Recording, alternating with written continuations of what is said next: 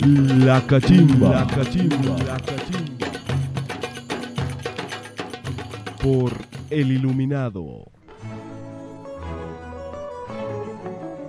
Moneda.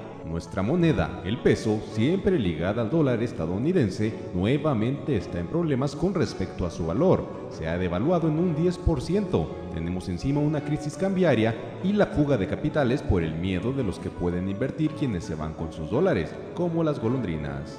Devaluaciones. Basta solo con recordar las grandes devaluaciones mexicanas, la de 1976, cuando el entonces presidente Luis Echeverría no tuvo más que reconocer que el peso había estado por años sobrevaluado a 12.50 por dólar, en una economía ficción sostenida por decreto, o la gran crisis del 81, cuando las arcas nacionales se quedaron vacías por una desaforada fuga de divisas y México no tuvo para pagar ni el servicio y menos el capital de su entonces abultada deuda exterior.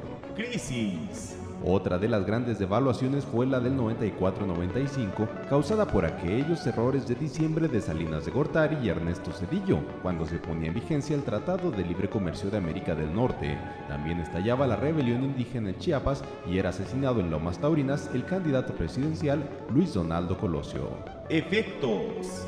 La situación actual del tipo de cambio es preocupante, sumándose a la baja del precio del petróleo, pues los ingresos del gobierno federal dependen en una tercera parte de los ingresos petroleros. Además, disminuye el poder adquisitivo de la población, ya que importamos el 50% de los productos básicos y se pagan en dólares. Las tasas de interés de los bancos han aumentado por mencionar algunos efectos. Predicción. El pronóstico para este próximo 2015 no es nada bueno y como nadie le cree a la Secretaría de Hacienda ni al Banco de México en sus pronósticos, esperemos que en los hechos mejore la economía y más para los que menos tienen. El 2015 está a la vuelta de la esquina, la cuesta de enero parece anticiparse, pero lo que es peor, parece que se quedará en febrero, marzo y todo el año.